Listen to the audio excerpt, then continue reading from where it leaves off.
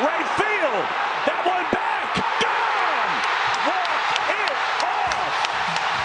And Morel is the hero here tonight as he sprints around the bases.